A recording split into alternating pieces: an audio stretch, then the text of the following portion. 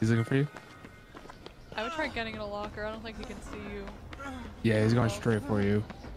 Which means I'm gonna start calling to calling too. He might see you. Ah, we could have done. He should have gone in the locker. All four of us.